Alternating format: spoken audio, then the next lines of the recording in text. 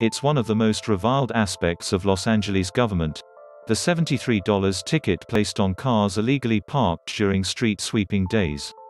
Angelenos received a respite from those tickets for seven months last year, after the beginning of the pandemic and the stay-at-home orders that followed.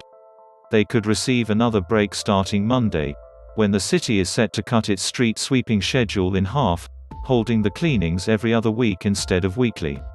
That could mean a big reduction in parking citations in the coming months.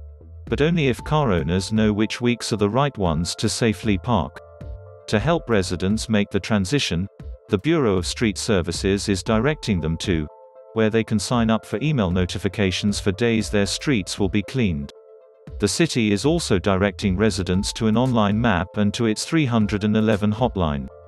We're going to be very sensitive to the community, to their needs, on how we make sure that no tickets are issued to people who are parked on the days that we are not sweeping, said Adel Hagekhalil, the Bureau's director and general manager. Hagekhalil said the city is looking at adding color-coded stickers or other information to more than 75,000, no parking, signs to indicate which streets will be cleaned on the first and third weeks of the month and which will be served on the second and fourth. But that won't happen right away, he said. One neighborhood leader questioned the decision to scale back trash removal, saying the move will have a major effect in low-income neighborhoods. Aura Vasquez, who served for several years on Koreatown's neighborhood council, said she also fears that some residents, particularly those who lack computer access, will have a tough time determining which weeks are the right ones to safely park. There's going to be a lot of tickets, because it's going to be confusing, she said.